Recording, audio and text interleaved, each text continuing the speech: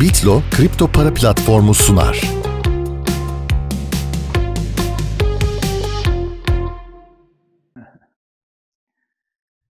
Merhaba. Çok sevdiğim bir fıkra vardır. Bugün öyle başlayalım mı?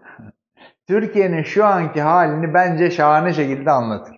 Bakın trafiğin çok yoğun olduğu saatler otomobiller böyle peş peşe ağır ağır falan giderken caddede kırmızı ışık yanar. Herkes durur ama acemi şoför duramaz böyle hars diye öndekine patlatır. İnerler tabii hemen tampona filan bakarlar. Bu arkadan patlatan hemen böyle başlar ağlamaya. Abi der ya kusura bakma yaptım bir hatada. İnan benzini zor koydum arabaya. Arabamın sigortası bile yok. Şimdi polis molis gelirse yanarım gözünü seveyim abi. Yap bir baba Allah aşkına idare et falan. Böyle. Öndeki tabi dinler ne yapsın acır. Tamam der affeder. Tekrar binerler otomobillerine devam ederler. Hemen öbür kırmızı ışıkta. Herkes gene durur. Arkadaki gene böyle sağa sola falan bakarken ışığı var. Ars diye gene öndekine patladı. Öndeki otomobilin sürücüsü artık tabii iyice öfkeyle iner ama arkadaki daha iner inmez başlar ağlamaya, sızlamaya böyle. Elini ayağını öpeyim abi der ya. Kusura bakma affet beni der ya helallik ver falan. Borcum harcım var ya onları düşünürken vallahi dalmışım der. Yap bir babalık idare et abi. İnan cebimde beş kuruş param yok falan filan. Öndeki sürücü ne yapsın ya der ki bunun canını mı alacağız ne hali yok ya. Ya sabır çeker adam. Gene biner otomobile devam eder. Ya bir sonraki kırmızı ışık hars. Öndeki sürücü artık tabii yani. Levyeyi alıp inerken abi arkadaki böyle camı indirir kafayı kolu çıkarır. Abi der benim ben merak et devam et. benim ben der devam et. Şimdi Aslı liderimizin dün mecliste partisinin grup toplantısını yaptığı konuşmayı izliyorum. Ya inanın aklıma bu fıkra geldi ya. Ya neler dedi mecliste biliyor musunuz? Bu onlarca sabıkası olan kriminal tipleri böyle hapiste tutulmak yere sokağa salıyorlar. Buna dikkat çekti. Sanki ben sokağa salıyorum abi. Ellerini kollarını sallayarak böyle sokakta gezdiklerine bunların dikkat çekti. Bunu mutlaka düzelteceğiz dedi. Adalet sistemine neşteri vurup bu işi düzelteceğiz. Böyle olmaz dedi. Yani. Sonra ekonomiden bahsetti. Onu da dedi düzelteceğiz. Yılbaşından itibaren dedi çok güzel hissedeceksiniz. Ben. Ya kim bozdu bunları? Kendisi. Şimdi ne diyor? Hepsini düzelteceğim diyor merak edin. O habire öndeki otomobile patlatan şoför gibi. Benim ben abi diyor devam et hepsini halledeceğim diyor. Durmak yok, yola devam diyor yani. 22 yıldır ülkeyi tek başına yönetiyor. A'dan Z'ye her şey bozuldu. Hiç merak etmeyin hepsini halledeceğim. Benim ben, ben halledeceğim diyor. Yani bir 22 yıl daha dişimizi sıkarsak halledecek yani. Aynı konuşmasında İstanbul Sözleşmesi'nden de bahsetti. İstanbul Sözleşmesi'nden çıkmamızın en ufak bir menfi etkisi olmadı dedi. Kadın haklarında, kadın statüsünün güçlendirilmesinde kimse elimize su dökemezdi. El, ele su dökmek ne demek? Lütfen girin şu anda Google'a Türk Dil Kurumu'nun sözlüğüne bakın. Bu sözü söyleyen kişinin diğer kişilerden üstün olması anlamında. Öyle değil mi? Elime su dökemez. Yani aslında kadın eşitliğinden söz ederken bile kendisinin herkesten üstün olduğunu söylüyor. Aynı konuşmasında Özgür Özel'e de fırça kaydı. Bu Özgür Özel de yaranamıyor yani adamcağız. Dedi ki kadına yönelik şiddetin en temel nedeni alkoldür. Özgür Özel kadına yönelik şiddetle mücadeleye katkı sunmak istiyorsan eğer rakı reklamı yapmaktan vazgeç falan dedi. Şimdi birincisi kadına yönelik şiddetin en temel nedeni içki değildir. Değildir.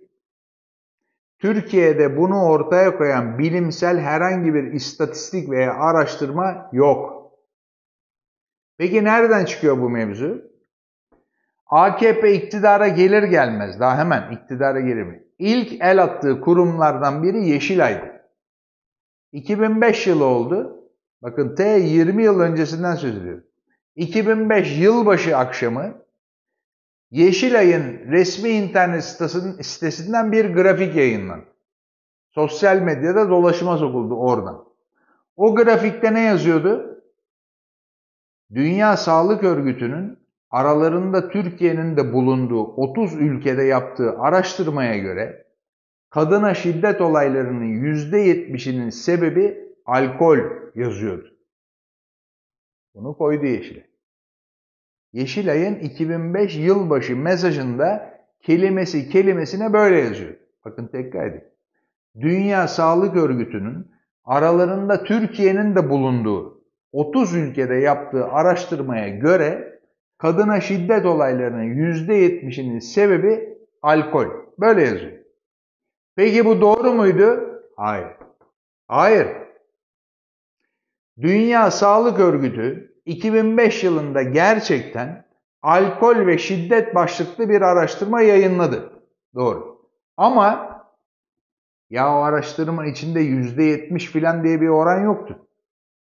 Kadına yönelik şiddetin sebebi bazı ülkelerde işte %30 oranında alkoldü, bazı ülkelerde %9'du. Yani Dünya Sağlık Örgütü'nün raporunda asla %70 diye bir oran yoktu. Yanına yaklaşan bir oran bile yok.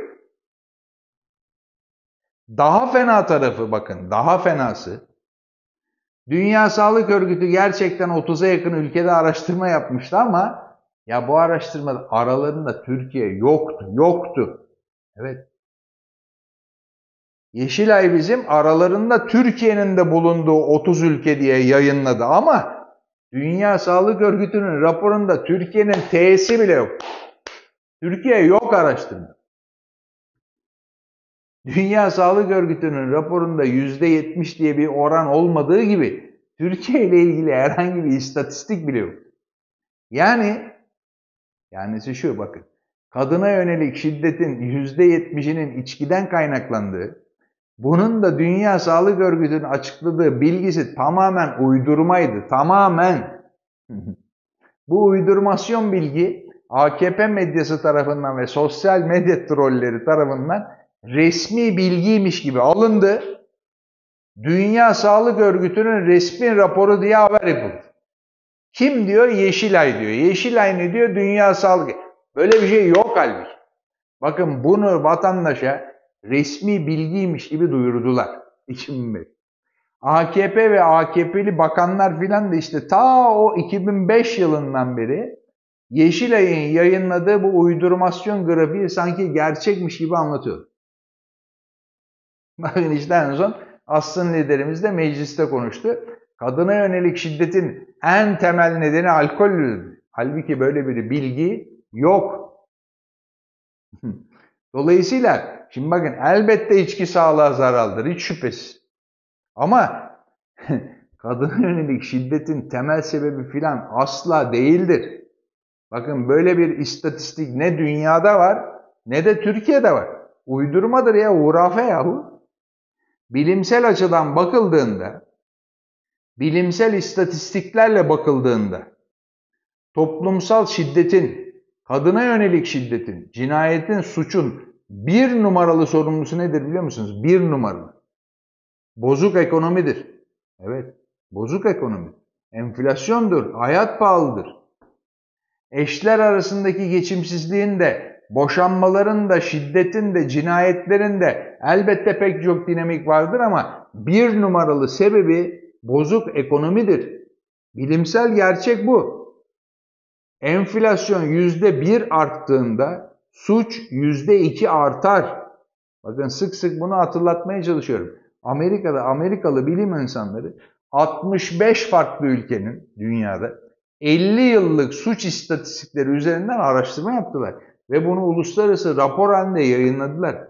Enflasyon %1 arttığında toplumsal şiddet ve suç oranı %2 artıyor. Enflasyon arttığında en önce ahlak çöküyor. Bütün bu bak sahteciliklerin falan hepsinin sebebi de o. Faiz sebep enflasyon netice değildir ama bilimsel olarak enflasyon sebep toplumsal şiddet neticedir. İçkiyle falan ilgili bu uydurmasyon argümanlarla uğraşırken memleketi uyuşturucu batağına sürüklediniz kardeşim. İlla istatistik istiyorsanız açın bilimsel istatistiklere bakın. Kimse satın almasın diye içkideki vergiyi arttırdığınızda, içkinin fiyatını yükselttiğinizde evet içki satışı düşüyor ama uyuşturucu patlıyor. Millet kimyager oldu. İçkisini evinde yapıyor. Sokakta içki satın alamayan da gidip uyuşturucu alıyor. Uyuşturucu patlıyor. Resmi bilimsel istatistik arıyorsan istatistik bu. O kızların kafasını kesip işte Edirne kapı surlarından fırlatandan tutun da işte kadın polisimizi şehit edene kadar hepsi uyuşturucu bağımlısı. Ya kokain AKP'nin genel merkezine kadar girdi. Hala rakı diyorlar ya. Rakı vergi ödüyor. Üretiminden tüketimine kadar bütün silsilesi devletin kontrolünde. Peki uyuşturucu baronları devletin kontrolünde mi? Gençler alt tarafı bir şişe bir alıyor, bir şişe. Ama 200 metrelik gemilerle ülkeye uyuşturucu sokuluyor. Bundan daha büyük toplumsal şiddet sebebi olabilir mi? Üstelik asrın liderimiz hepsinin sebebi içki filan diyor ama ne diyordu? İçki içenler alkoliktir. İçki içenler AK Parti'ye oy veriyorsa alkolik değildir. Kim dedi bunu? Kendisi demedi. İçki içenler alkolik oluyor ama içki içen AKP'ye oy veriyorsa o alkolik sayılmıyor. Kendisinin istatistiği bu. Kadına yönelik şiddetin bir numaralı sorumlusu bozuk ekonomidir. İki numaralı sorumlusu ise bu kriminal tipleri sokağa salan İstanbul Sözleşmesi'ni iptal ederek kadına yönelik şiddetin önünü açan bizzatihi iktidardır. Bu arada işte bu ünlü köftecilerde, pidecilerde, catering şirketlerinde falan domuz eti bulunduğunu tespit eden Tarım Bakanlığı'nın bu taşiş ve sahtecilik açıklamaları devam ediyor. Halkın gündemi aslında bu. Ünlü baharat markalarının işte baharatlarına boya katıldığı falan tespit edilmişti. Şimdi dün itibariyle yeni listeler açıklandı. Bazı salça markalarında da kanserojen boya tespit edildi. Boya. Yani salçayı böyle ekmeğe sürücüne götür, duvara sür aynı şey kardeşim. Ha, boya yani. Bazı zeytinyağı markalarında da tohum yağı kullanıldı ortaya çıktı. Yani neredeyse zeytin haricinde her şeyi koymuşlar zeytinyağına. Süt ürünlerinde tarım ilacı bulundu. Çayda boya bulundu. Ambalajlı ürün olarak böyle kekik diye bir şey satıyorlar. Yani kekik olmadığı kesin de ne olduğunu henüz Tarım Bakanlığı bile anlamış değil. Tahlil yapıyorlar nedir bu diye. Kekik. Bazıları da diyor ki bakın sosyal medyada özellikle bunu çok görüyoruz. Şimdi o köfteci de yiyenler de tabii bir şekilde savunmaya kendilerine geçmeye çalışıyorlar. Herkes diyaneti falan aramış yanlışlıkla yediysek ne olur falan diye. Sosyal medyada özellikle görüyoruz. Diyorlar ki domuz eti dana etinden daha pahalı Türkiye'de. Niye köfteye domuz eti karıştırılsın dedi. Yani domuz eti ucuz değil ki yani. Dana kıymaya karıştırıp köfte yapanların bundan ne menfaati olur? Böyle diyorlar. Yani işin doğasına aykırı. Tabii çok mantıklı görünüyor bu argüman yani. Bak. Türkiye'de gerçekten domuz eti danadan daha pahalı. E böyle olduğuna göre e, köftenin fiyatını ucuzlatmak için niye domuz koysunlar yani? Şimdi eğer tabii bakın Finlandiya'da yaşıyorsanız veya Danimarka'da gazetecilik yapıyorsanız veya ne bileyim işte Norveç'te köftecilik yapıyorsanız, Avustralya'da pidecilik yapıyorsanız veya Kanada'da catering şirketiniz falan varsa bu argüman çok doğru.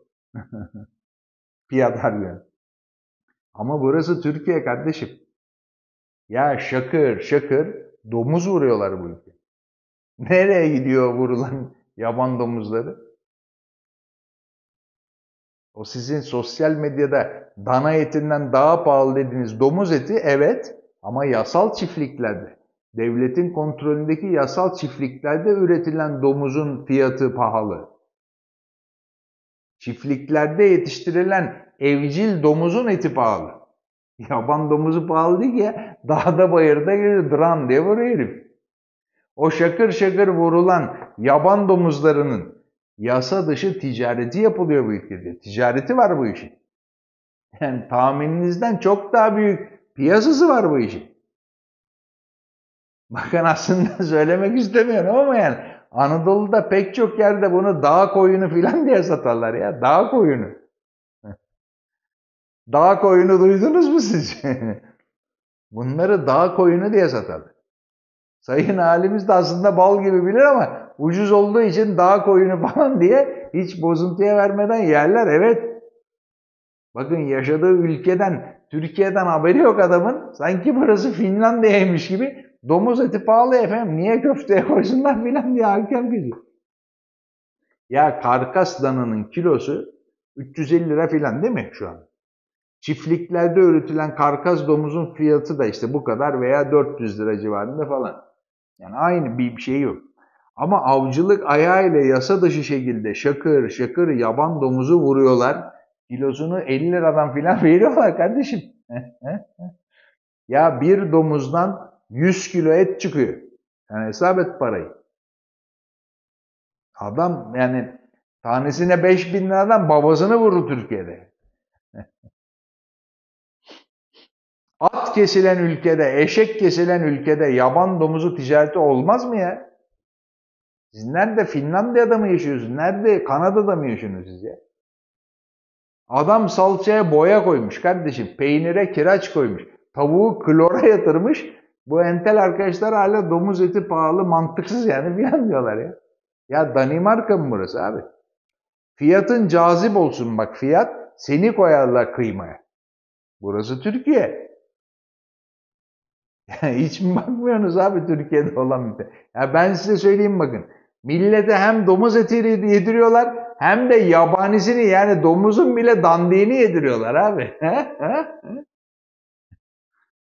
bakın daha iki ay önce Aydın'da Aydın'ın bir köyü için.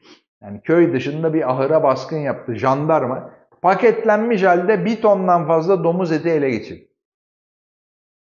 Hadi köyün adını vermeyeyim şimdi burada ama o köyün domuz avcılığı yaptığını, meslek haline getirdiklerini ya bölgede herkes biliyor. Türkiye'de her yerde var böyle köyler. Hatta bakın size şöyle söyleyeyim ben. Anadolu'nun özellikle turizm bölgelerinde avcılarla böyle muhtarlar falan şebeke kurarlar. Ya yani bir tane de böyle sahte veterinerlik belgesi falan ayarlarlar.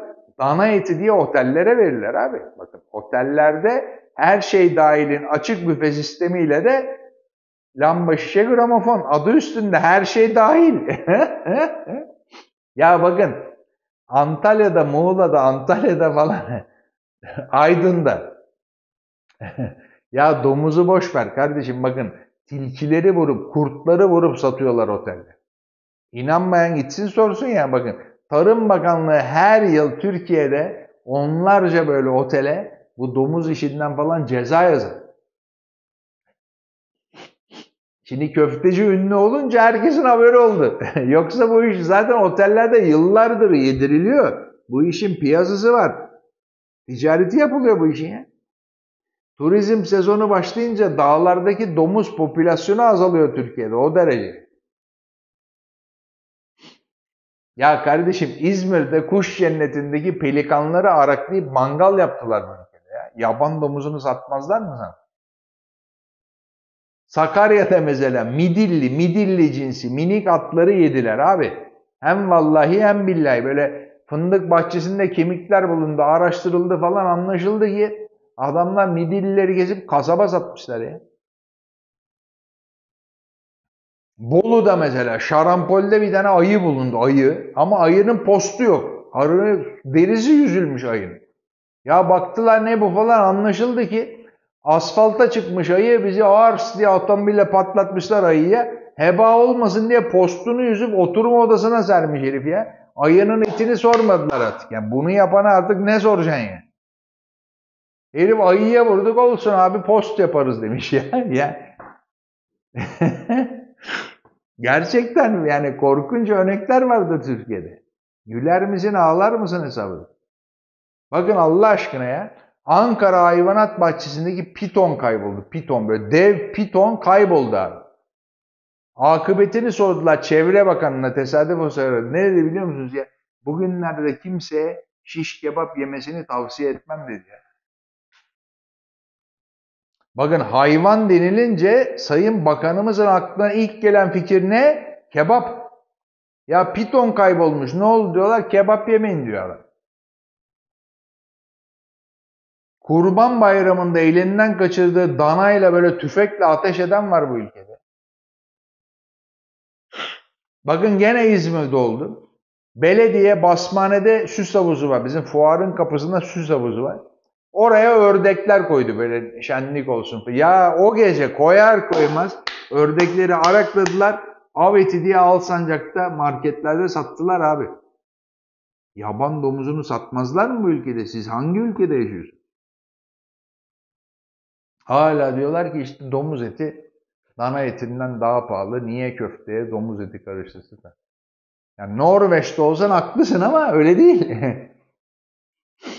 Lahmacuna da koyar, çöp şişe de takar, köfteye de karıştırır. Denetim yok, kontrol yok, ceza zaten yok. Bakın tekrar şöyle. İnsanın fiyatı makul olsa insanı bile kıymaya koyarlar bu. Koyar. Ve bakın bu iş sadece domuzla filan kalsa gene iyi. Bakın. Halk sağlığı, gıda üze, halk sağlığı. Tarihte hiç olmadığı kadar başıboş bırakıldı Türkiye'de. Tarım ilaçlarını işte dün özetlemeye çalıştım dünkü yayınımda. Ya alenen kanserojen olduğu bilinen, alenen kanser yapan tarım ilaçları Türkiye'de şakır şakır kullanılıyor, satışına izin veriliyor. Bakın hep GDO'lu ürünlere dikkat çekmeye çalışıyoruz. Bu e, medyatik olduğu için GDO'lu falan haberler yapılıyor. Halbuki bakın genetiği değiştirilmiş politikacılar var bu ülkede. Evet. Bu zararlı, yasaklı tarım ilaçlarının Türkiye'ye girmesine, bunların kullanılmasına, hatta sahte tarım ilaçlarının Suriye'den, İran'dan, Irak'tan Türkiye'ye sokulmasına işte bu genetiği değiştirilmiş politikacılar izin veriyor. Kendi genlerini yani kendi milletini koruyacaklarına genetikleriyle oynandığı için el alemin ülkelerinin çıkarlarına hizmet ediyor. Evet. Genetiği değiştirilmiş bürokratlar var mesela bu ülkede. Bunların raf ömrü de çok uzundur ha. Böyle güneşe döner gibi devamlı iktidara dönerler. Kendi devletinin, kendi milletinin çıkarlarını gözeteceklerine genetikleri değiştirilmiş olduğu için yabancı sermayenin çıkarlarını gözetirler. Bu işte bu yasaklı tarım ilaçlarının bu ülkeye girmesini kim sağlıyor? Bunlar sağlıyor. Bunlar bağlıyor işte. Bunlar uygun kanunlar azallayıp genetiği değiştirilmiş politikacıların önüne zerk ediyor bunlar.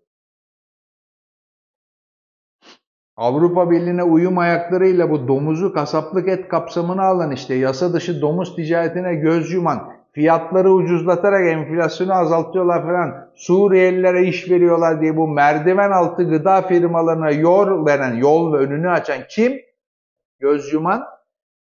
İşte bu genetiği değiştirilmiş arkadaşlar. Genetiği değiştirilmiş profesörler var bu ülkede. Genetiği değiştirilmiş akademisyenler var evet. Bakın bunların tohumları genellikle Amerika'dan gelir. Böyle vakıf üniversitelerine ekilir, öğrenci fidanlarına aşılanır bunlar. Yerli tohumdan yardımcı doçent bile yapılmazken bunlar böyle aniden boy verir, zart diye profesör yapılır bunlar. Genetiği değiştirilmiş profesörler. ABD şirketlerinin, Avrupa şirketlerinin bu ülkeyi babalarının tarlası gibi kullanması için işte bunlar faaliyet gösterir. Siz mesela şimdi diyelim gazetecisiniz, ithal tohum aleyhine bir tane haber yapın, bir yazı yazın veya benim işte burada yaptığım gibi dün mesela anlattığım ithal tohum aleyhine bir yorum yapın, ata tohumunu destekleyin, şak hemen o akşam aniden bunlar ekranlarda boy gösterir. Bu genetiği değiştirilmiş akademisyenler. Kanser yapıyor dediğimiz tarım ilaçlarının asla kanser yapmadığını, yalan olduğunu filan anlatırlar bunlar televizyonda. Ben profesörüm, ünvanım var. Benden daha iyi bilecek değil herhalde filan derler bir de böyle. Akademik ünvanlarını yabancı tarım sermayesi için kullanırlar. Bunları bir isim isim herkes biliyor. Bakın mesela dün ben burada işte Alman Bayer şirketinin Amerika'daki bir e, tarım ilacı firmasını satın aldığını ve kanser yapan tarım ilacını anlattım bunları. Şak ya dünden beri mesaj kutuma yağmur gibi mesaj yağıyor. İsim isim vermeyeyim de bende var işte şu üniversite şu üniversite görevli akademisyen arkadaşlar. Ne kadar yanlış yorum yaptığımı belirtiyorlar. O Alman şirketinin faziletlerini anlatıyorlar bana. İlla benimle buluşup yüz yüze anlatmak istiyorlar. Randevu isteyen isteyene. Kim bu arkadaşlar? Genetiği değiştirilmiş akademisyenler. Size ne kardeşim? Size Alman şirketin çıkarlarından size ne? Varsa bir şey Alman şirketi açıklama yapar. Türk Üniversitesi'nde, Vakıf Üniversitesi'nde çalışacaksın. Avrupa şirketlerinin aleyhine borazanlık yapacaksın. Genetiği değiştirilmiş akademisyenler kendi milletlerinin sağlığını düşüneceklerine kendilerini o vakıf üniversitelerinde profesör yapan yabancı şirketlerin cüzdanını düşünüyor. Genetiği değiştirilmiş iş adamları var mesela. Evet bu ülkede. Bu alenen kanser yaptığı işte bilimsel olarak kanıtlanmış tarım ilaçlarını falan kim ithal ediyor bu ülkeye? Bunların bayiliğini kim yapıyor? Bilmiyorlar mı sattıkları ilaçların ne işe yaradığı? Elbette gayet iyi biliyor. Kendileri kaç para kazanıyor sadece ona bakıyor. Genetiği değiştirilmiş gazeteciler var bu ülkede. Evet. Genetiği değiştirilmiş gazeteciler var. Dikkat edin lütfen bakın. Bu halk sağlığı meselesiyle ilgili tek kelime yazmazlar, tek kelime konuşmazlar. Çok mecbur kalırlarsa böyle işte halkı zehirliyorlar filan deyip geçerler ama kimlerin halkı zehirlediğinden hiç bahsetmezler. Yuvarlak böyle halkı zehirliyorlar falan geçer. Mevzuyu başka konulara çevir. Hep siyaset lagologası falan. Millet kanser oluyor. Hala herif para aldığı belediyenin başkanını pohpohluyor. Bu kadar genetiği değiştirilmiş gazeteci olmasa bu ülkede, bu ülkede tarımı bitirebilirler miydi? Kaç tane gazeteci bu ülkedeki tarıma sahip çıkmak için mücadele verdi? Yerli tohumu yasaklayabilirler miydi bu ülkede? Bu ülkeyi ithal tohuma, ithal tarım ilacına, adeta uyuşturucu bağımlısı gibi bağımlı hale getirebilirler miydi? Bu genetiği değiştirilmiş gazeteciler olmaz. Genetiği değiştirilmiş gıdalar bunların yanında hiçbir şeydir. Bakın sadece domuz eti mi mesele? Hayır.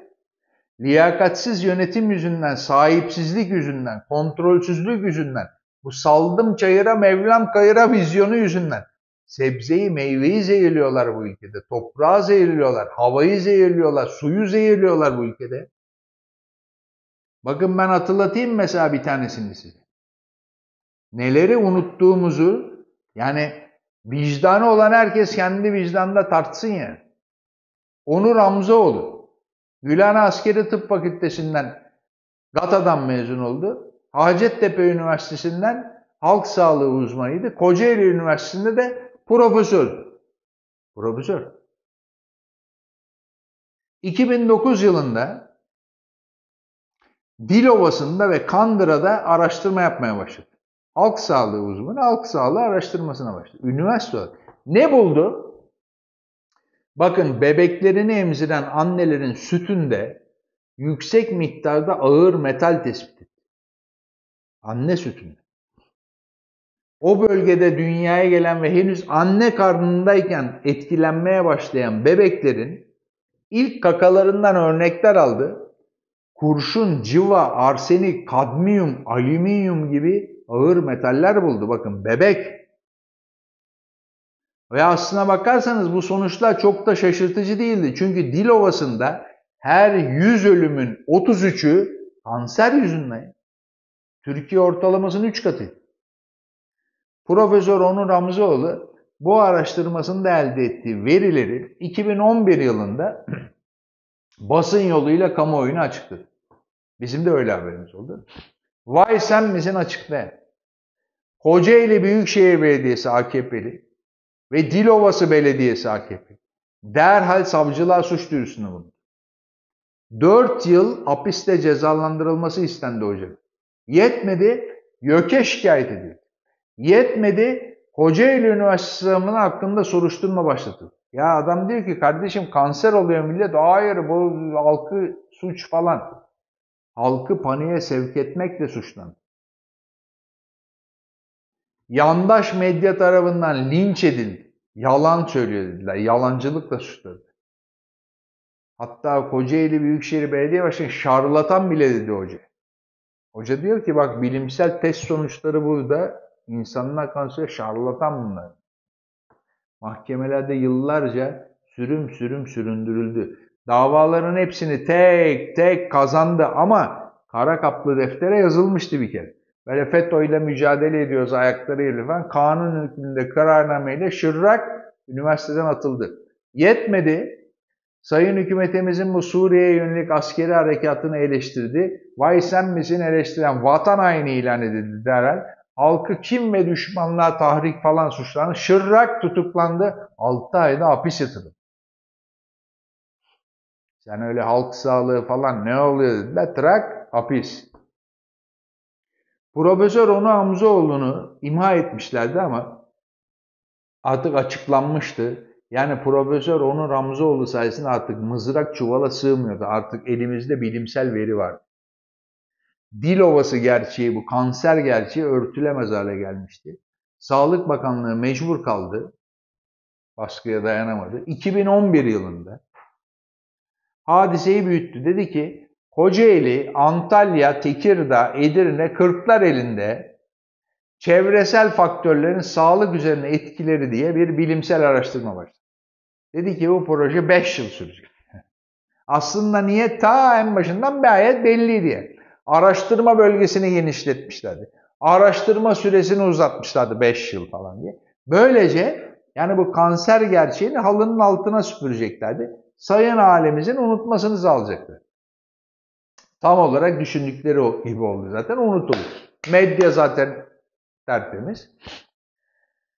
Bu araştırma 2016 yılında tamamlandı. Güya 2017'de sonuçları açıklanacaktı. Açıklanmadı. 2018 oldu. Gene açıklanmadı. Gene açıklanmayınca ne oldu? O araştırmada görev yapan Akdeniz Üniversitesi'ndeki akademisyenlerden biri, gıda mühendisi Bülent Şık dayanamadı. Cumhuriyet Gazetesi'nde 4 bölümlük dizi yazı halinde yayınladı. Türkiye'yi kanser eden ürünleri devlet sakladı, biz açıklıyoruz. İşte zehir listesi diyerek çatır çatır çatır yazdı Cumhuriyet Gazetesi. Çünkü yeraltı ve yerüstü su örnekleri alınmıştı. Toprak örnekleri alınmıştı. 1380 gıda örneği üzerinde çalışılmıştı. 1380 sebze meyve. 15 bin civarında analiz yapılmıştı. Analiz edilen bu örneklerin %40'ında kimyasal madde saptanmıştı. Evet.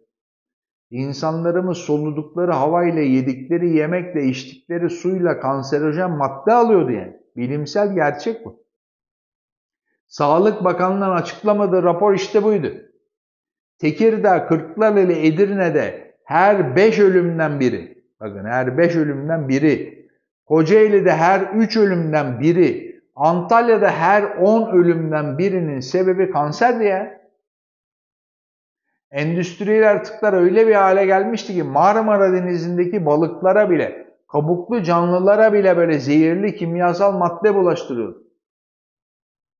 Açıkladı bunu Cumhuriyet'te. Vay sen misin bunu açıklayan kardeşim. Sağlık Bakanlığı derhal suç duyurusunda bunu. Niye? İşte yetkili makamların açıklaması lazımdı. Yasaktı bu gizli kalması gereken belgeleri açıkladı. Dava açıldı. 12 yıl hapsi istendi. 12 yıl. Yargılandı, yargılandı, yargılandı. Neticede bir yıl, üç aya falan hapse mahkum edildi. Ya dava hala Yargıtay'da devam ediyor. Hala yargılanıyor. Ama yargılamanın sonucunu filan beklemediler. Bir an önce kurtulmak için işte gene bir kanun hükmünde kararname falan. Şırrak üniversiteden atıldı akademisyenliğe son verildi. Yani halkı göz göre göre kanser etmekte sorun yok. Ama halkı kanser konusunda uyarmak suç abi bu ülkede. Peki sonra ne oldu? Bu adı geçen bölgelerde kanser takibi yapıldı mı? O adı geçen bölgelerin toprağında, havasında, suyunda değişen herhangi bir şey oldu mu? Bir daha o bölgeden numuneler alındı mı? Tahliller yapıldı mı mesela? Şimdi iktidar yapmıyor, örtüyor. Peki CHP mesela veya adı geçen o bölgelerin belediyeleri ya belediye. Bu işin peşine düştü mü? Hayır. Hayır. E istediğin kadar sen organik beslendiğini düşün ya. Vaziyet bu. Ne organik? Toplumu uyarmaya çalışan bilim insanlarına sahip çıkılmazsa işte böyle köftede domuz da yersin, köftenin yanındaki domateste kadmiyum da yersin ha. Marul diye böyle direkt plastiği dürüm yapıp verirler eline böyle domuzlu çiğ köfteni falan afiyetle yersin. Güya Amerika'yı protesto etmek için sokaklara kola dökersin, Starbucks kahvesi falan dökersin ama sonra oturup domuzlu lahmacunu yersin. Yanına da böyle glifosatla yıkanmış rokayı da koyarlar. Bir de üstüne boyalı çayı içtin miydi? Afiyet olsun abi. 3 seneye kalmaz. Dört kolludasın. Bakın sadece domuz etli köfte değil mesela. Hayır. Asbest mesela. Asbest. Ya düpedüz kanserojen mineraldir asbest. Isıya, aşınmaya falan böyle kimyasala dayanıklıdır. Bu yüzden eskiden inşaatlarda özellikle yalıtım malzemesi olarak çok kullanıldı. 2010 yılında yönetmelik çıkarıldı. Asbest Türkiye'de yasaklandı. Kanser yapıyor. Üretmek, satmak, kullanmak yasaklandı. Çok güzel. Ama hemen akabinde 2012 yılında kanun çıkarıldı. Kentsel dönüşüm başladı. Ya yıkılan binaların tamamı ne zaman yapıldı? Hepsi eski binalar. 40 yıllık, 50 yıllık hatta daha eski binalar. Peki bu yıkımlarda ortaya çıkan asbest ne oldu? Asbest 2010 yılından beri yasak ama 2012 yılından itibaren hiç olmadığı miktarda devasa boyutlarda asbest bir anda serbest kalmadı bir anda ortaya çıkmadı. Ne oldu bu devasa kanserojen madde? Çevreye dağıldı. Moloz olarak atıldı işte. Toprağa, yeraltı suyuna falan sirayet etti. Öyle hemen yok olan bir madde değil ki.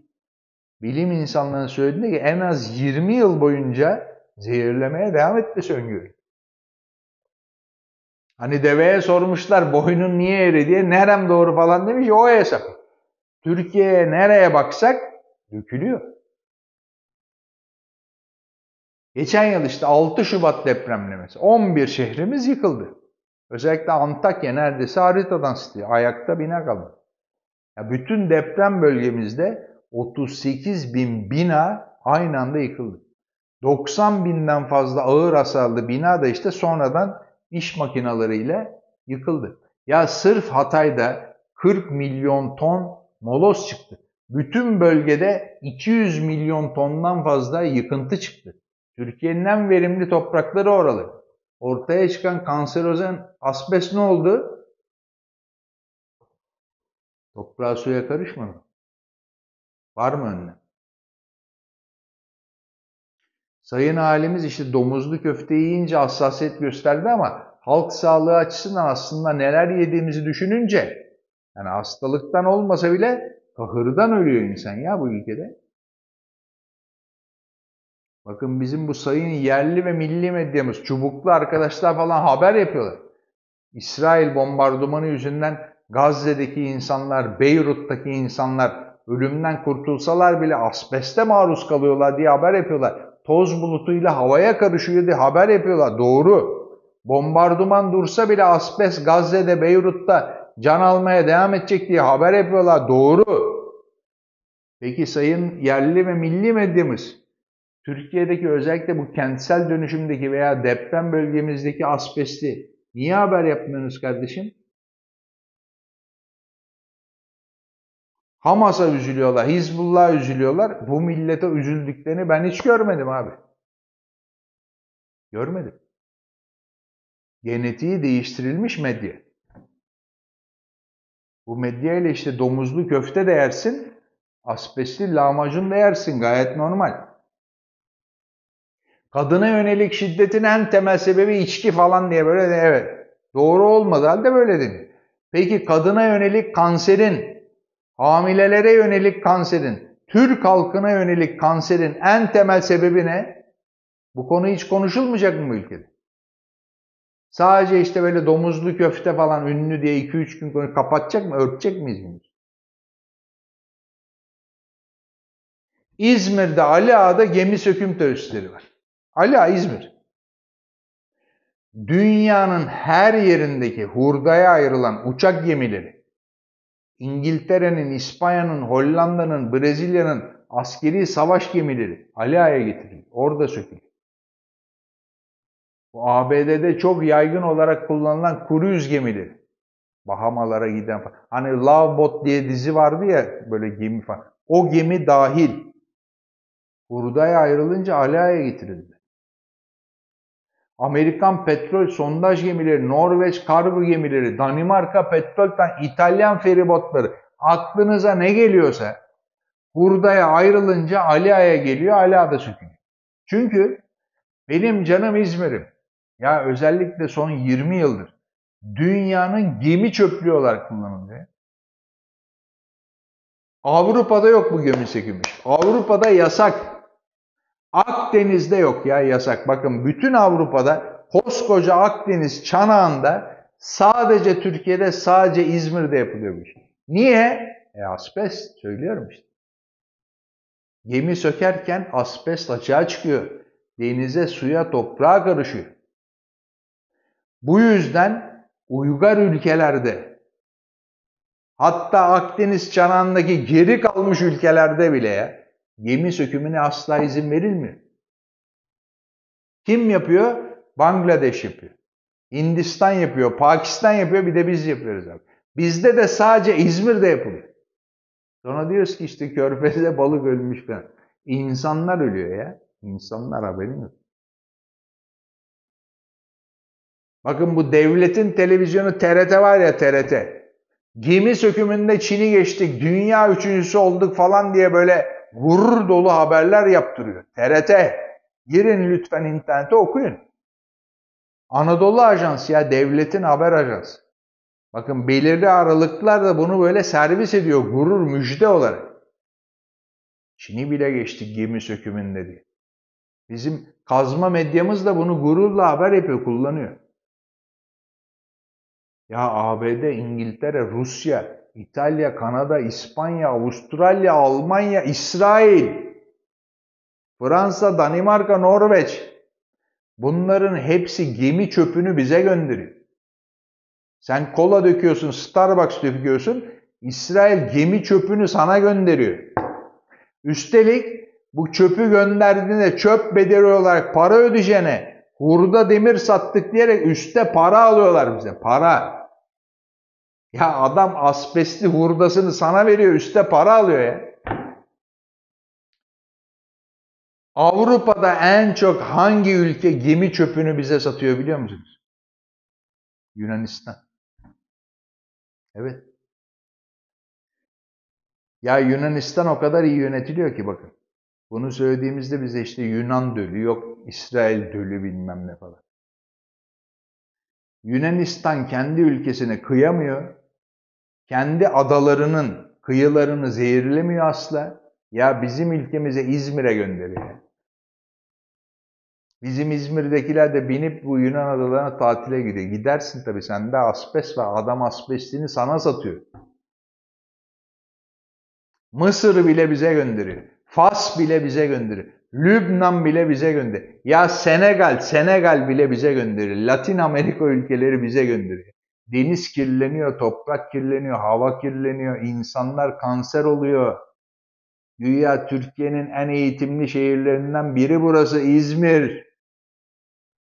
Armut gibi seyrediyor ana muhalefet partimiz. Armut. Ali Ağa'da kanser oranı ne? Türkiye ortalamasının çok üstünde. Ali Ağa dediğin ne? İzmir körfezi kardeşim.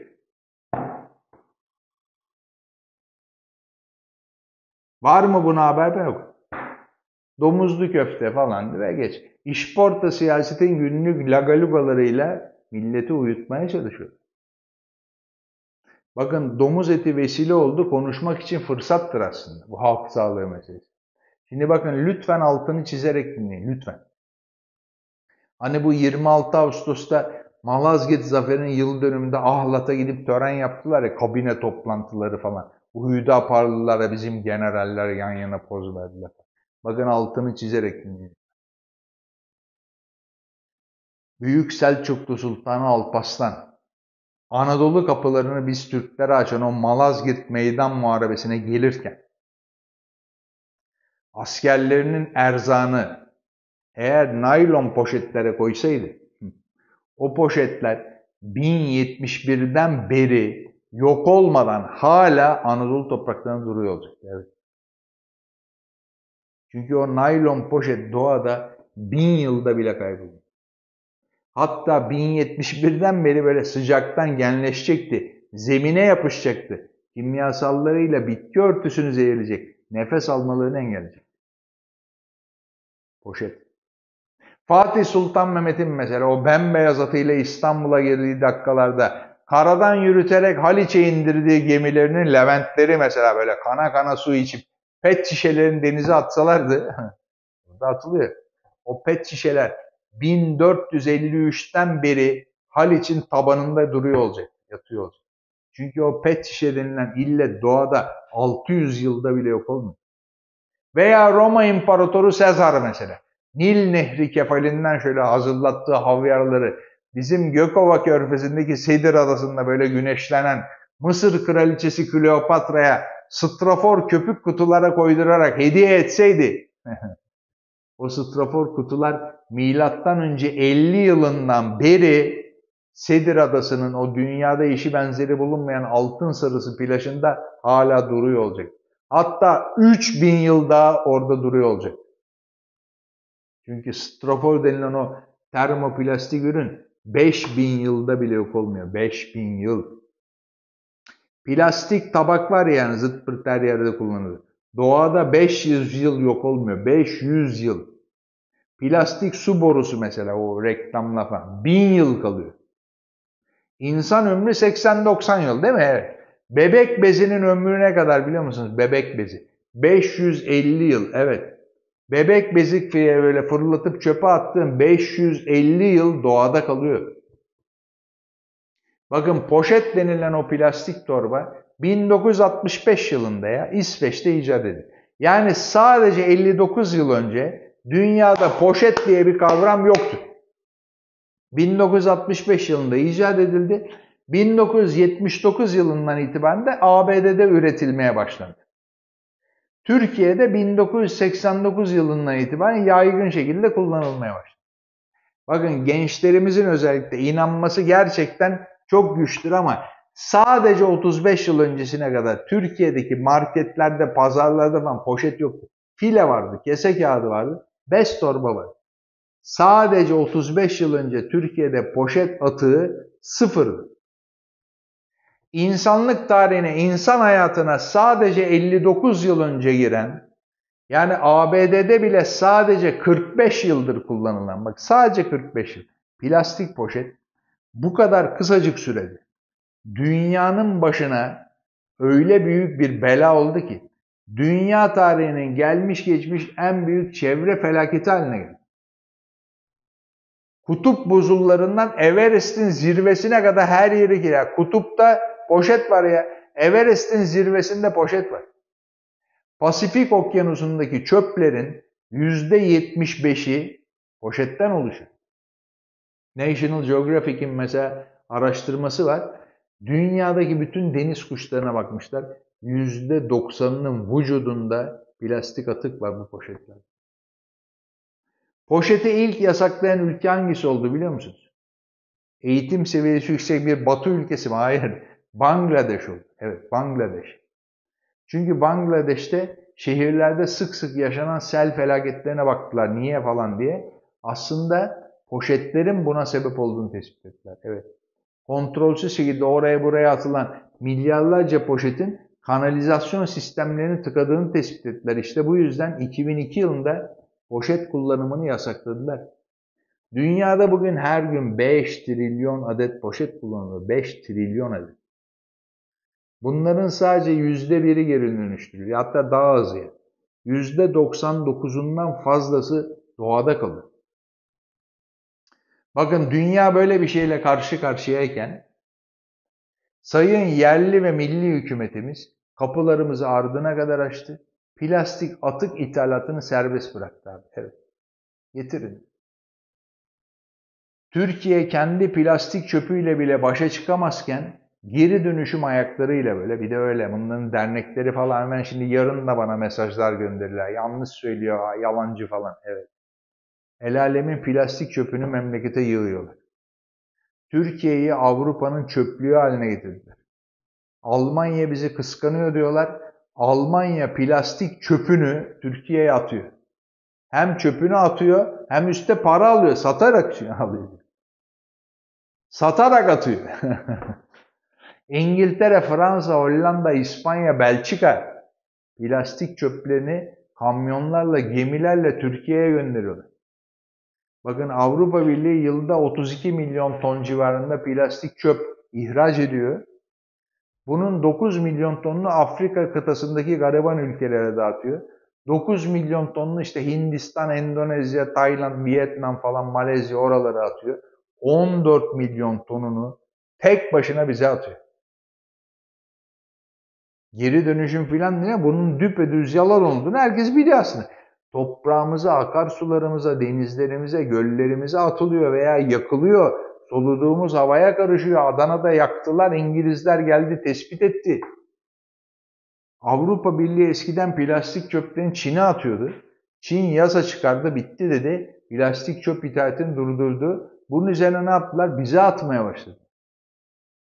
Yahu gelir adaletsizliği ve aşırı yoksulluk nedeniyle dünyanın en pis ülkelerinden biri değil mi Hindistan? Hindistan bile Türkiye'nin ancak beşte biri kadar çöpü kabul ediyor. Hindistan'ın beş misli çöp alıyor. Yakında Avrupa'nın değil dünyanın çöplüğü olacağız. Çünkü artık çöp atacak ülke bulamıyorlar dünyada bizden başka. ABD ve Japonya'da başladı şimdi çöpünü Türkiye'ye atmaya. Japonya çöpünü getirip buraya atıyor abi. Amerika getirip çöpünü buraya atıyor. Plastik çöp. Söylüyorum bin yıl doğada kalıyor. Havayı, yeri, suyu, toprağı zehirli. Bizimkiler güya böyle az kullanılsın falan yasa çıkarıp poşetleri marketlerde parayla satıyorlar. Bakın ne kadar çevreciyiz falan diyorlar. Sonra dönüp işte üstte para ödeyerek dünyanın plastik çöpünü böyle ithal edip Türkiye'ye getiriyor. Bakın açık söylüyorum. Bu zihniyet Türkiye'nin başına geçirilmiş poşettir aslında. Kafamızda poşetle dolaşıyoruz şu anda. Türk milleti. Ya bu domuz etli köfte filan bunların yaptığın yanında hikaye. Bugünlük bu kadar. Abone olmayı, beğenmeyi ve paylaşmayı ihmal etmeyin lütfen. Geçen hafta izlenme rakamlarınız bu hafta gerçekten çok iyi. Hepinize çok teşekkür ederim. Pazartesi günü e, izlenme rakamlarımı vereceğim. Abone olmayı ihmal etmeyin lütfen. Beğenmeyi özellikle. Abone olmayanlar arasında çekiliş yapıyor. Dün bir izleyicim mesaj atmış bana. Ya bayıldım ya. Diyor ki 40 yıldır Almanya'da yaşıyorum. Domuz eti yemediğimden kesinlikle eminim. Ama bir haftada Türkiye'de tatil yapıyorum. Ya domuz eti yemediğimden kesinlikle emin değilim demiş. süper vallahi billahi süper ya. Abone olmayanlar arasında çekiliş yapacağım. Almanya bizi kıskanıyor diyerek böyle sokaklara kola filan dökerken İsrail tohumlu helal sertifikalı domatesle birlikte böyle servis edilen domuz etli köfte yiyen dört talihsiz izleyicime birer porsiyon normal dana kıymadan yapılan köfte ikram ediyor. Evet. Gerçi harbi dana kıymadan yapıldığı için öbürünü yiye yiye artık tadı size biraz yaman gelebilir ama idare edersiniz. Cümleten sağlıklı, huzurlu, anne köftesi tadında bir hafta sonu dilerim ya. Sizi bilmem bakın bu kadar köfte muhabbeti yaptık. Vallahi benim canım çekti. Ben bu öğlen köftecideyim yani. Pazartesi sabah görüşmek üzere. Eyvallah. Bitlo kripto para platformu sundu.